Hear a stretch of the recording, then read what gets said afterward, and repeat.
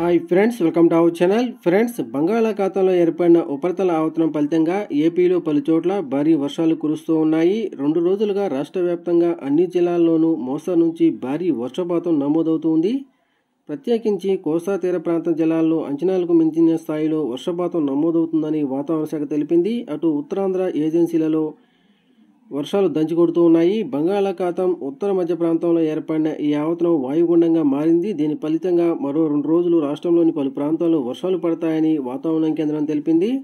పలు చోట్ల ఉరుములు మెరుపులతో కూడిన భారీ వర్షాలు కురవనున్నాయి. గంటకి ముప్పై నుంచి నలభై కిలోమీటర్ల వేగంతో ఈదురుగాలు వీచే అవకాశం ఉందని విపత్తుల నిర్వహణ సంస్థ విభాగం కూడా తెలియజేసింది. చాలా జిల్లాల్లో భారీ వర్షాలపై జిల్లా అధికారుల యంత్రాంగానికి అప్రమత్తం చేసింది. ఉత్తరాంధ్ర కోస్తా తీర ప్రాంత జిల్లాలో మోస్తరు నుంచి భారీ వర్షాలు కురుస్తాయని తెలిపింది. శ్రీకాకుళం పార్వతీపురం మన్యం అల్లూరు సీతారామరాజు అలాగే బీఆర్ అంబేద్కర్ కోనసీమ జిల్లాలో వర్షపాతం అధికంగా నమోదవుతుందని పేర్కొంది. వీటితో పాటు పశ్చిమ గోదావరి ఏలూరు కృష్ణా జిల్లాల్లో ఒకటి రెండు చోట్ల తేలికపాటి నుంచి మోస్తరు వర్షాలు కురిసే అవకాశం ఉందని విపత్తుల నిర్వహణ విభాగం పేర్కొంది. మిగిలిన జిల్లాల్లో తేలికపాటి జల్లు పడే అవకాశం ఉందని వివరించింది.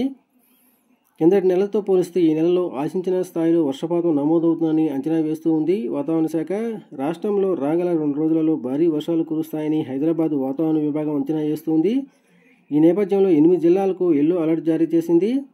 ఆసిఫాబాద్ మంచిర్యాల భూపాలపల్లి ములుగు మహబూబాబాద్ వరంగల్ హన్మకొండ జనగామ జిల్లాల్లో భారీ వర్షాలు కురిసే అవకాశం ఉందని ఆయా జిల్లాలకు ఎల్లో అలర్ట్ జారీ చేసింది. మిగిలిన జిల్లాల్లో తేలికపాటి నుంచి మోస్తరు వర్షాలు అక్కడక్కడ తేలికపాటి జల్లు కురిసే అవకాశం ఉందని వాతావరణ శాఖ తెలియజేస్తుంది. ఈరోజు ఈ వీడియో మీకు నచ్చినట్టయితే మా వీడియోని లైక్ చేసి షేర్ చేయండి.